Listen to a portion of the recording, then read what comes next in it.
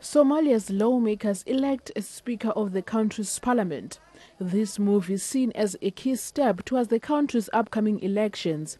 Mohamed Osman Jawari gained the majority of votes in an election involving 259 lawmakers.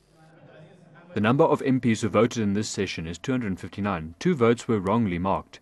Jawari, who won the elections, has gained 141 votes. Therefore, the new Speaker of the House of the People Parliament is Mohamed Osman Jawari. The re-election of a former Speaker Mohamed Osman Jawari took place at a heavily guarded police academy in the capital Mogadishu.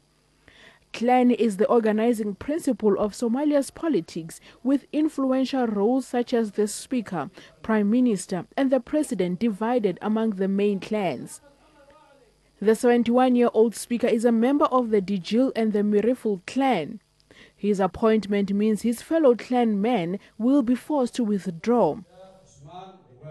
There isn't a winner and a loser. The people of Somalia have won, and the House of People has won.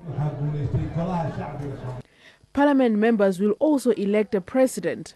The election has been delayed several times amid allegations of fraud and intimidation.